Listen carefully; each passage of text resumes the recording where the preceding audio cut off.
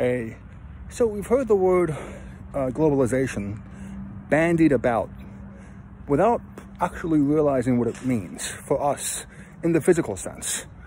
And the reason for that is because globalization is typically something that is discussed by economists and academics.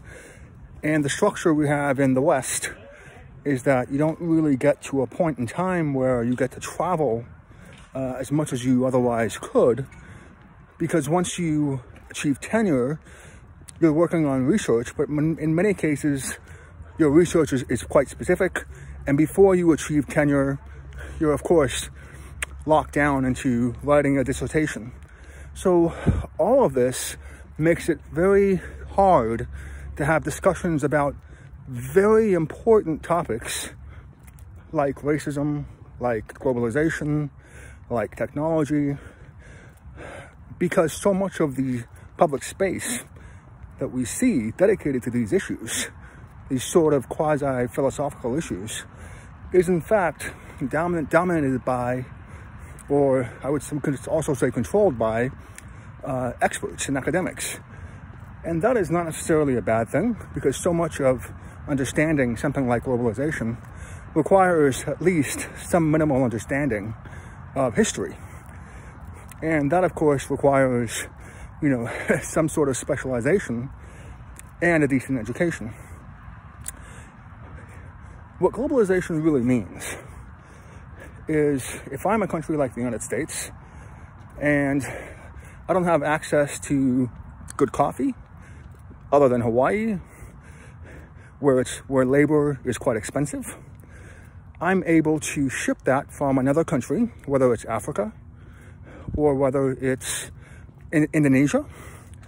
I'm able to leverage my banking system and my strengths in order to negotiate a trade deal, a multi-year trade deal that gives me something that I wouldn't otherwise have access to as a physical good. If I'm Singapore and I have an agreement with water, for water from Malaysia, and something goes wrong, then at the same time, I'm able to diversify my access to resources and go to Australia and make a deal with Australia, getting access to water or I can go to Japan, get access to technology that allows me to recycle water so I'm not dependent on any particular single source. Those are, in a nutshell, those are probably the two top things that people should think about when they think about globalization. Now, it gets confusing because you know, you, you, what you notice, especially after the Vietnam War, after 1955, is that some countries have better access to more resources, especially oil and gas. And so if you're going to send a ship from the port of Los Angeles to Singapore, South Africa, Australia, you know, maybe, you know, and so on, you essentially are in a position where you have to have a lot more to trade than just coffee and water. So you build these economies all over the world that as of today, especially given its importance in World War II, is really based on a system revolving around oil and gas. And that explains so much of the recent history whether it's the break off of Kuwait, whether it's the multiple wars in Iraq, which has oil, but also tremendous natural gas. It explains why Qatar is so often sort of bounced around between the Arab League and so, and so many other competing interests.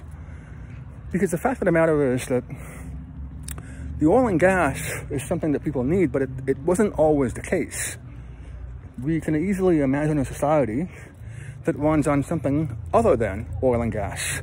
It's not going to look like this. Like if you just look around you, for a car behind me, that is an oil-based car. I'm, I'm walking on asphalt on a street that is made with an oil byproduct. I'm holding something in my hands, a weight that's covered in a form of plastic, which is, again, an oil byproduct. Now, we mentioned South Africa. it also turns out that resources include things that are malleable with high utility, as well as being sturdy. And what that really means is when we're making things, we can't make everything with steel. We have to make it so that it lasts and also so that it's not, it, it, it comes from hopefully a nearly inexhaustible supply. So that obviously includes things like gold, silver, platinum. We tend to think of these things, of these metals, as jewelry, as some sort of fanciful vanity plates. But in reality, almost every medical device, every cell phone has had a tiny portion of these metals. Uh, these also include things like rare earth minerals and so on. So one of the biggest problems in society, society today is that when we tend to think of things like gold, which is finite, we don't actually think of them in the capacity that truly makes them important. We tend to think of them in very superficial ways. There's a reason for that. Primarily, oh, there's a nice little cat. Hi. I don't know if you can see it. Somewhere there. Nope. Hi. Oh, oh, oh. so, what ends up happening is that in order to make the extrication and exploration of these things acceptable to society because they do involve tremendous environmental costs, there's a, we tend to think of them in very either superficial or beneficial ways. In other words, in ways that don't truly consider the costs of a society where we're walking on an oil byproduct in a car that's run by gas or oil. And ultimately, the idea behind this kind of an economy made a lot of sense in World War II. It created a situation where you could trade with anybody all over the world because you had this access to something that people wanted. It was difficult to extract. You needed technology it created a lot of jobs. It also maintained the viability of the Navy. It increased shipping, which continued to maintain the importance of ports and all the all the places that you think about, by the way, that tend to have a high presence in marketing and fashion and so on. The things that we see on television, on social media, if you think about it, whether it's New York, Los Angeles, um, just think of any major city, Tokyo, although maybe Kobe would be a better example. Um, all of them are ports. Singapore, South Africa. The reason that this is the case is again because the world economy is not really based on coffee. It's based on these minerals and metals and oil and gas essentially it's based on resources.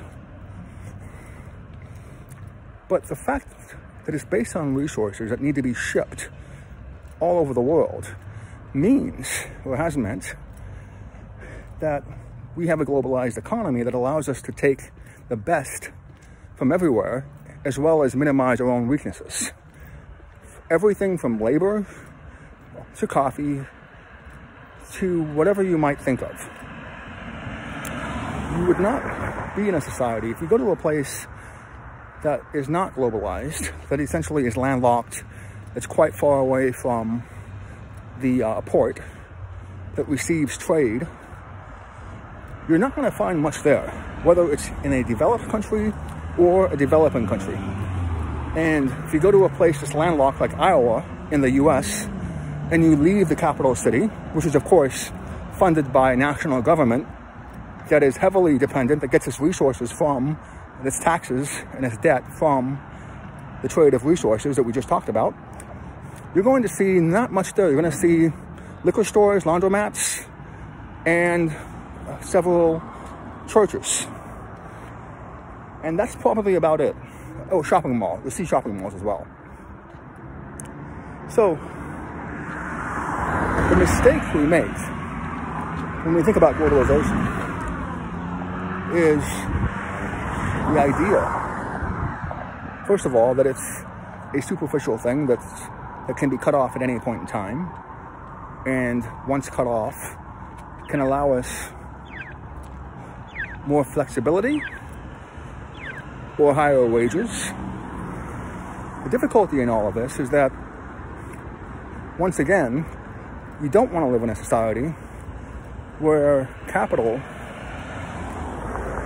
which also includes debt, is in a position not to develop places that would otherwise be able to maximize human, human potential.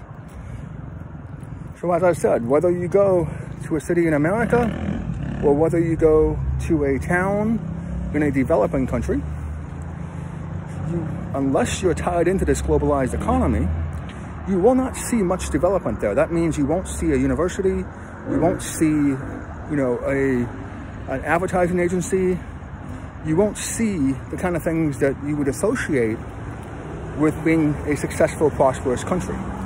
Because at the end of the day, all of these things come from the existence of a globalized market that was supposed to run on taxes and revenue, but increasingly runs on debt. And without debt, you do not have development. You have a society that looks the same as, as it did 100 years ago. Literally the same. But perhaps with a television, a small television in somebody's house, or of course now a mobile phone. Now, what I am attempting to explain is that the idea of globalization was to create a society where we would be able to get the best of all possible worlds, but of course in this in this context, the best of all possible countries within a standardized system that promoted the sort of things that you learn about in school, law and order, rule of law, consistency, stability, and security. In 1945, you had a situation where because the United States was more comfortable creating and exporting a kind of debt-based system and a capital, capital development system that allowed a floating currency, that allowed other countries to receive loans in US dollars and then in exchange be tied into a security framework and an economic framework. In exchange for all that, was able to be on the path of that ship from LA to South Africa to Oslo and so on. Now,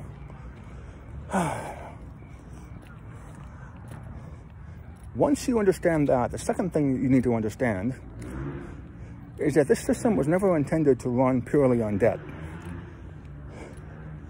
It was, at the same time, intended to also create a transfer of culture. The fact of the matter is, most people are inbred, whether they're on an island or not. And of course, part of that is just a lack of public transportation for most of human history. But the other part of it was the, the lack of affordability and the lack of a, a uh, linguistic skill set that applies across the world. So, when we think about human beings, whether we want to admit it or not, if you live in an area that has a majority of people with blue eyes, the fact of the matter is the only way that you can have that is if you're in a very isolated place like Finland, a place where until recently had very little immigration, very little trade, or a place that has segregation. And so, what geography wrought, human beings decided to enact on their own. And the reason for that is because blue eyes and white skin, they're all recessive. What you, when you go to a place that has had ample colonization, which is the extraction of resources by militarily superior powers without regard to human human rights or a long-term vision of development, you see a multitude of colors, Africa being the primary example. And you can't even explain it because we don't even have words for these colors. In the English language, especially, because it's not something that's common in the West or in Europe yet. So the idea behind globalization has not only meant what we just talked about, it has also meant a transfer of everything to make it so that we don't live in a society that runs on materialism, that it actually creates the kind of idea seeking that you would expect from a collision of great minds in the same room. We can easily see that when it comes to food. You have fusion all over the place. But for whatever reason, people have a harder time seeing it as a result of trade and immigration that results in resettlement. So what has actually happened, if you take a country like Singapore and Norway, which is quite a contrast, not just in climate, but of course with Norway having access to oil and Singapore having access not to oil, but to perhaps the most efficient port in Southeast Asia since the 1960s. You can see that both of these countries, small populations, not very attractive places to live, have managed to become perhaps two of the most successful countries in the whole world today, based on Norway's oil, which it sold and put into a sovereign wealth fund, and Singapore's capacity to accept a Norwegian or US ship under a global security umbrella and have it continue to move forward with the necessary repairs and refueling in the most efficient way possible. So the consequence of having this globalized system is not only not only the fact that Singapore is one of the most diverse places in the whole world. It's got about 20% of its population from somewhere else. Not citizens, but workers. It's also the fact that you can see that this system, system of globalization results in revenue to a certain number of players, primarily people that have, since 1945, been involved in oil and gas and banking. And these people need places to invest. So what we've what we've really been able to create, if you want to really sort of put it in context, is the idea that once you trade gargantuan amounts of things, you have to have a banking system and a currency and a debt market that allows you to create all sorts of other things that create, that then lead to a functioning global economy that is supposed to facilitate not just the movement of things, but of people. And that is where we failed. The fact of the matter is, if you, nobody would really want to live in Norway, you know, you know uh, unless they had a substantial sovereign wealth fund. A lot of what you hear about in terms of the equality system is, is propaganda, it's marketing. You know, Norway is it's a difficult climate, sparsely populated. You know, clearly doesn't have things like Indonesian coffee or, you know, the kind of weather and beaches that you would expect. And it's quite in the middle of nowhere. It is, of course, close to Europe, but not significantly so. Obviously, though, it's not as isolated as the United States. And so, despite all of that, or perhaps because of it, Norway has one of the most interesting citizens and immigrants in the world. Her name is Grace Bullen. She's from an African country, South Sudan, and she is now a Norwegian citizen. And she, she of course, stands out. Because again, you're, for the most part, everywhere, people have been inbreeding. It's a terrible word, but I use it all the time because it's true. And so to have someone like that come in changes the culture with one person being able to move from one country to the next and create this idea of possibility. And that is really what trade was supposed to mean. The idea of possibility of somebody growing up, speaking a completely different language, and then one day finding herself in a country where everything is different from the place where she was born. That is only possible in some respects if you have a society where a superpower or a dominant force is able to export its version of the rule of law backed by its military to enforce contracts globally. Now, what's happened over time is that debt, as well as the lawyers, have run amok. What started out quite well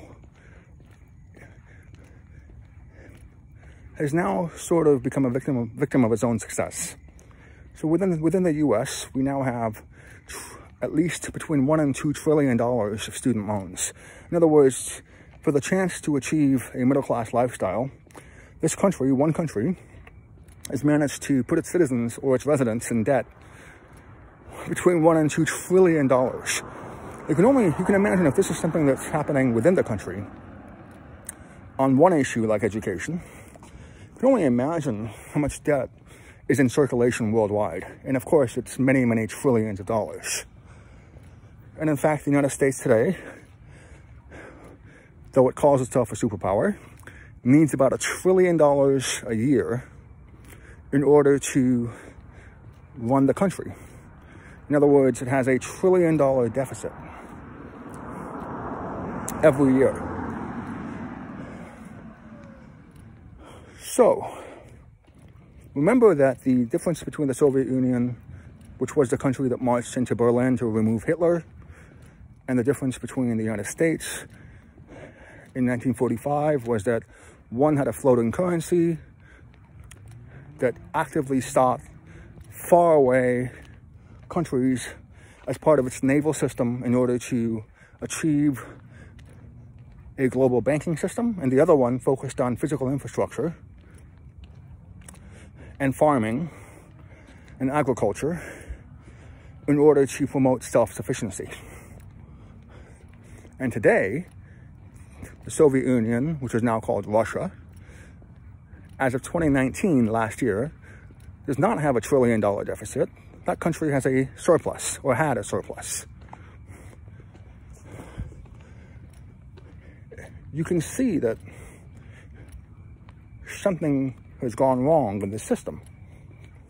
When a country that collapsed in 1990, 1991 is now the country that does not have a massive annual deficit. But you can also see why the United States is in this position to have a deficit. Because once again, the idea is to create a global economy that allows the free movement of people and products in order to diversify everything. Genetics, food, agricultural water, resources, and so on.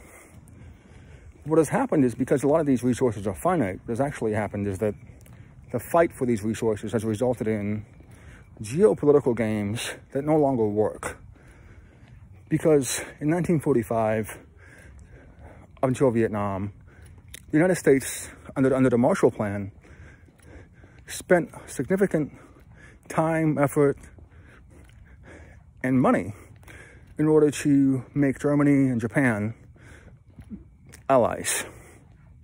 It took the people that were its sworn enemies, that didn't speak the same language, and it made them, until today, and, and hopefully in the future, not only some two of the strongest countries in the whole world, but two of the best places to live. And it did so despite not having a common language, not having a common culture, and being geographically distant, which at the time was a significant barrier to communication and resources, resource transfers.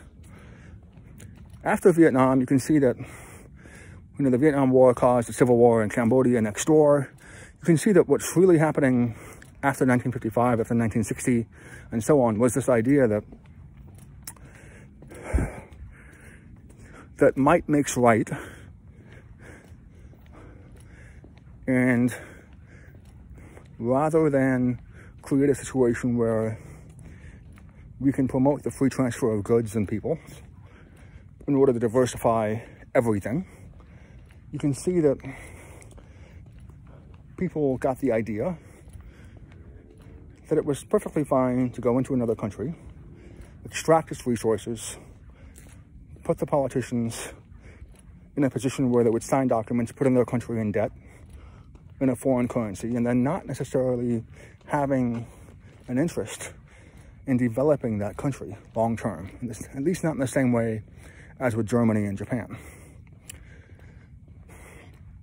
The consequence of that has been a moral failure. It started from Vietnam, through Iraq, and lots of other issues in between, Libya, and so on.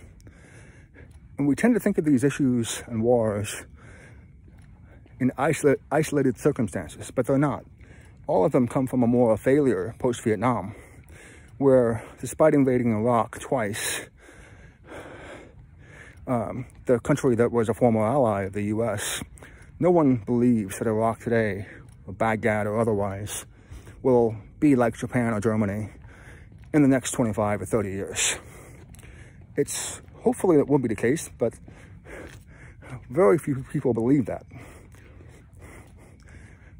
But there's no reason why that shouldn't be the goal, except that we have too much debt.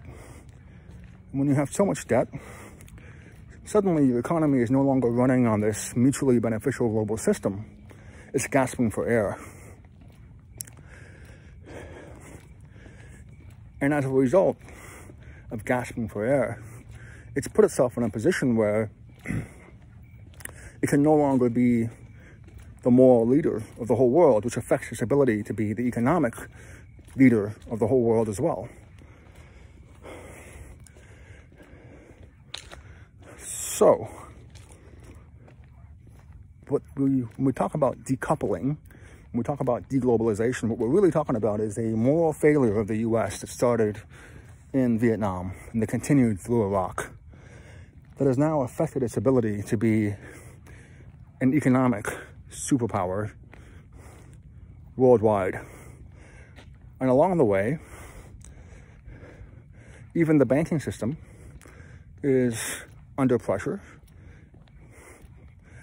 for a multitude for a multitude of reasons. One of which is simply the fact that banking has always been the act of digital security. You're transferring money worldwide. That has to be a secure process. That involves a situation where the banks are really technology companies in disguise. So on top of that, you have this idea where if you don't have a country that has a clear moral position that country will have a harder time exporting its rule of law. It will have a harder time exporting its culture. And if you look at the countries that are now most closely allied with the US, South Korea, uh, Israel, Taiwan, and so on, those countries are for the most part lacking in, at least as of today, in the kind of things that you would expect to create a culture an independent culture. And if you look at something like K-pop, Korean pop, which is apparently wildly popular, even the dance moves are copied from the United States, and even those dance moves are copied from Michael Jackson. If you look at Taiwan, which is allegedly within the US ambit in order to promote democracy, it really is in a very strategic location because it's next to the South China Sea which is a, an area that is crucially vital for trade all over the world, especially with respect to Chinese oil and gas. So suddenly you have these countries that are being developed, but not in a way that maximizes development in terms of human potential.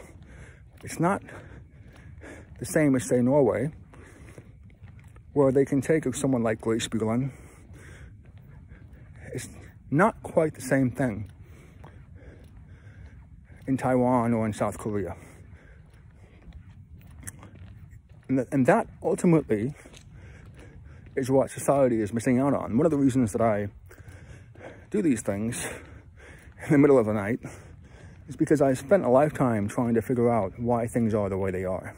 Because it's quite uh, clear that they don't have to be in this particular way. They don't have to have light bulbs on that are connected to a, are connected to a system that burns coal or gas or LNG. It just so happens that's a system that we've come up with and no energy source is cost free because the other problem with this globalized system is that at some point we're in a position where we have vast environmental consequences worldwide. Singapore, as one of the examples, uh, regularly has pollution alerts because of Indonesia's volcanoes. But it's probably not just the volcanoes, it's obviously also the fact that, Singapore, that Indonesia primarily uses coal for energy. And so within this globalized system that we're supposed to have the rule of law in a way that made everyone's lives better, you can see that there are limits. And in the year 2020, when we talk about decoupling, when we talk about deglobalization, we're trying to understand the scope of those limits. But what has really happened here, and the reason that things have gone awry in the field of politics is because not only, not only do people lack vision, but they've forgotten what globalization was supposed to be about. And this whole idea, this whole meandering half an hour has been the idea that globalization was supposed to maximize human potential so that a little girl in South Sudan, who may not have been in the most secure of circumstances, could one day wake up in a secure, safe place, get an education, and create a life that was that's meaningful. And in the process of doing so, create a bridge between different cultures as well as different continents that would then make it easier to transfer not just products and metals, but understanding. And you can only do that if you invest in things like you know, translations. Um, if you have a society where somebody grows up with two languages and is, and is then able to translate the great works of literature into a format that is understandable.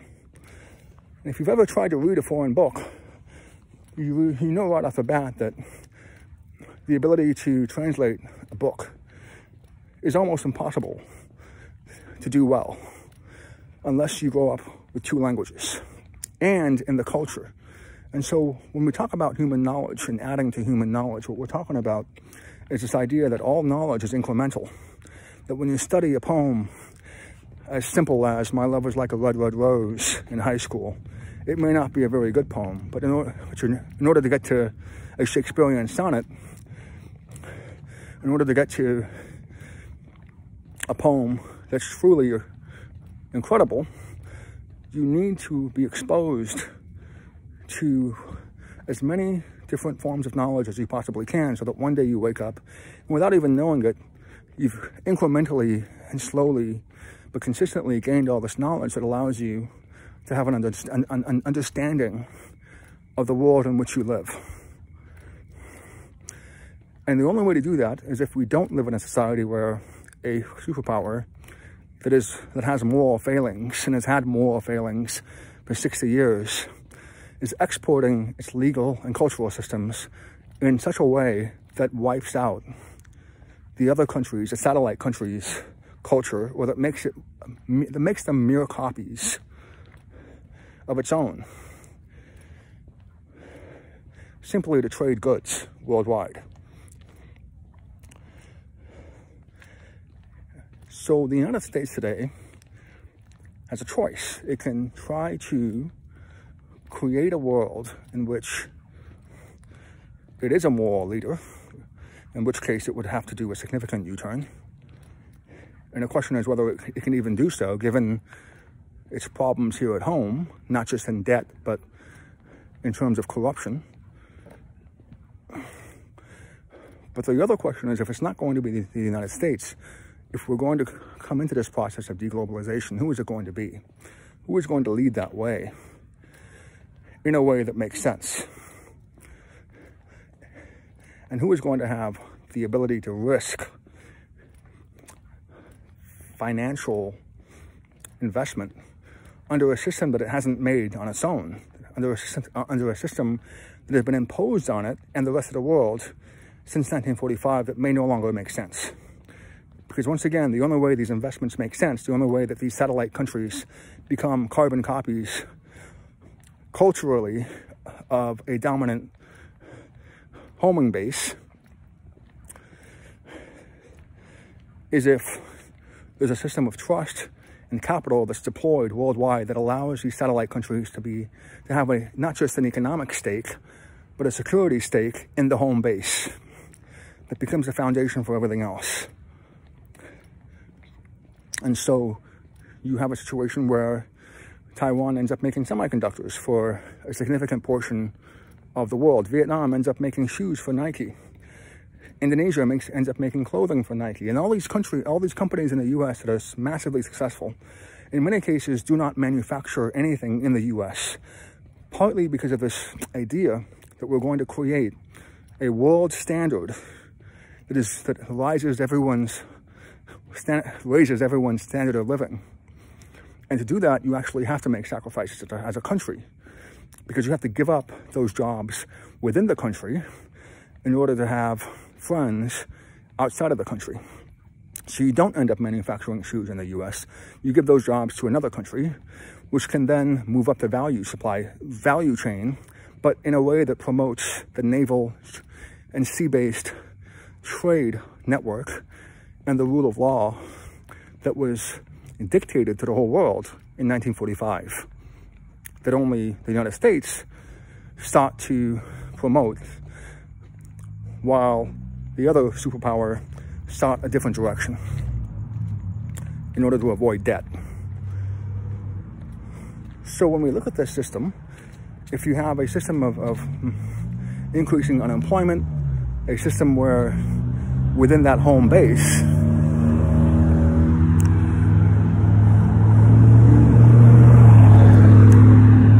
where within that home base you no longer have a population that is convinced that it's going to give up all those jobs to, to foreign countries in order to gain friendship and to maintain the standard the standardization of rule of law that benefits the home base if you're going to have that situation where people don't have that idea that their lives are getting better, then you're going to have, a, have to have a lot of propaganda, a lot of marketing to make them feel that way, and that's going to involve bending the truth.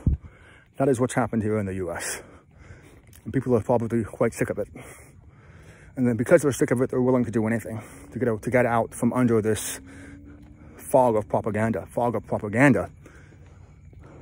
And if it's not going to be the case, that we accept this paradigm, this economic paradigm that allows us to trade jobs or lower employment for a global friendship that promotes cultural understanding as well as a banking system and the laws within those banking systems dictated and created by the country with the most secure banking system, namely the US today.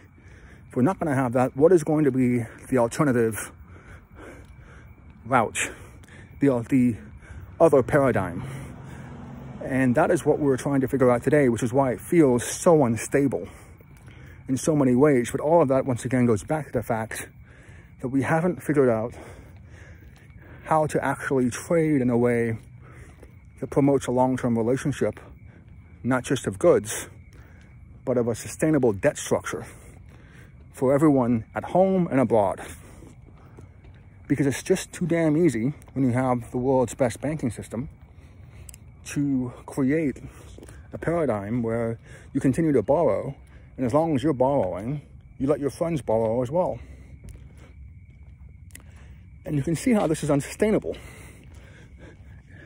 in, in the long term because obviously you have unequal inflation which is which then leads to unequal asset values which then leads to a lot unequal inequality within the country, from sector to sector, from province to province, from state to state, from city to city, based on connections to the federal government, or to venture capitalists, or to the banking system. You can see how the country does feel as if it's being torn apart because it, it actually, it actually is. Because all these systems that were supposed to promote a singular moral rule of law have failed. And all these satellite countries are no longer in a position where they can enjoy the largesse of a rising standard of living without the debt that follows it. And that is presumably, presumably not, a, not a kind of lifestyle that people want to live. They don't want to live in a society where debt controls their future. But here we are. And the problem with a society where debt and an economy where debt controls the future is that you end up in a position where stability becomes more important than creativity. Why? Because in order to pay off the debt, you have to have stability in order to attract investment. You have to have a society that's willing to cover up its flaws in order to attract investment against a competitor that is trying to lure those same dollars into its country, into its ambit, in order to export its preferred rule of law and its culture.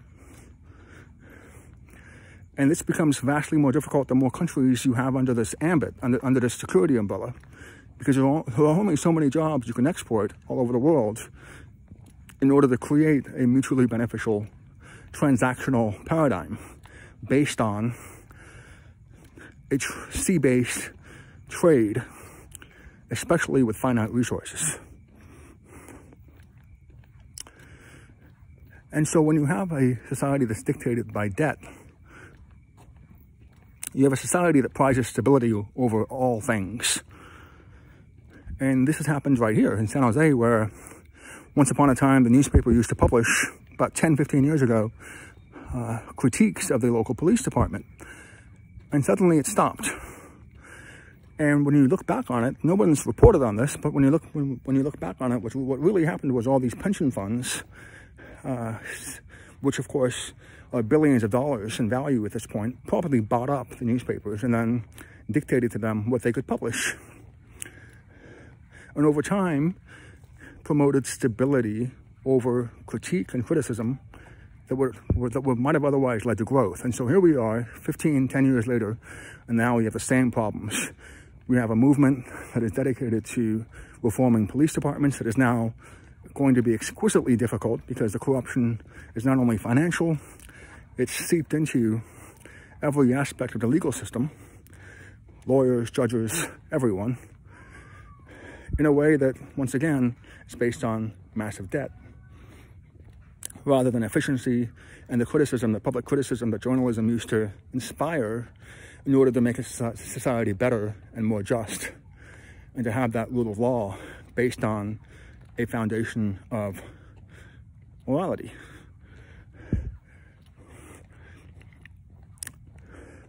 So here we are, and hopefully things make more sense now. If you have a society that has a, that assumes that their pension fund that's worth billions of dollars uh, on the local level and then on the state level, half a trillion dollars.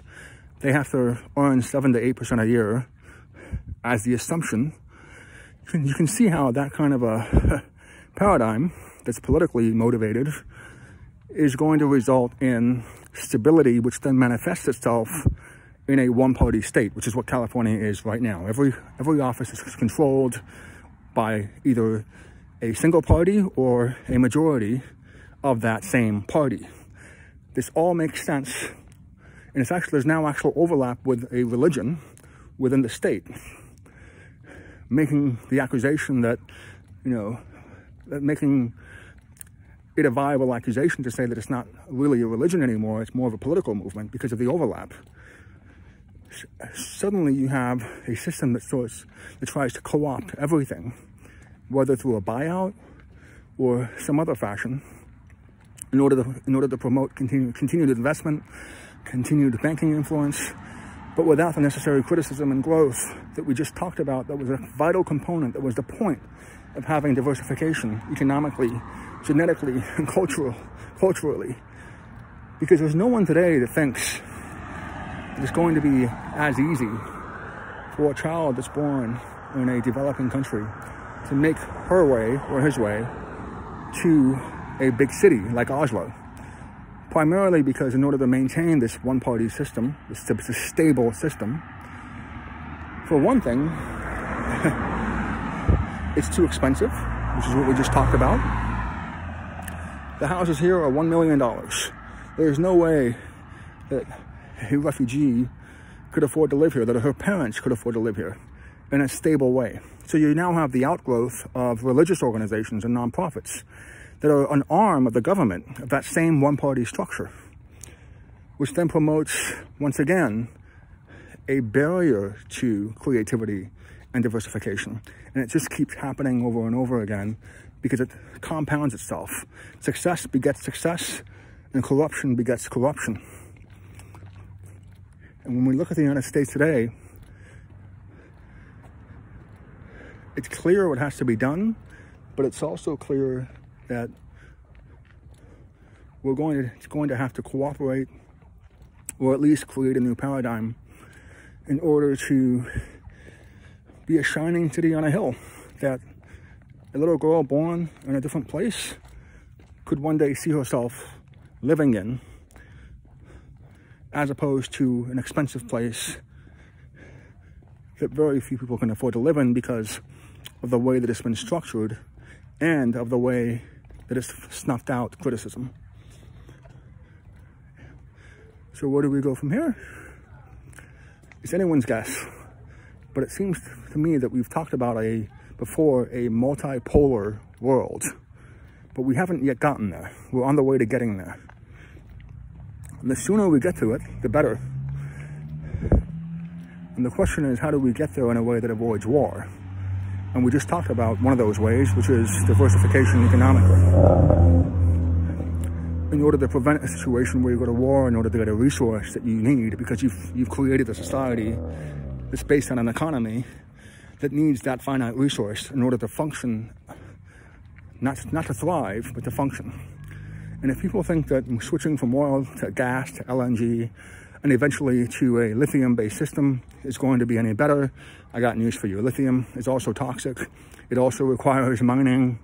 Uh, batteries require electricity and renewables are, are not capable of creating the kind of consistent energy that we need in order to maintain a large interconnected grid of power which then takes us back to the idea that globalization, which was supposed to smooth out these issues, is today more necessary than ever, but somehow lacks the political will to get to where it needs to be, which all goes back to the fact that it's almost impossible today to imagine a little girl named Grace Bullen, born in a different place, imagining herself here in this city of million dollar homes.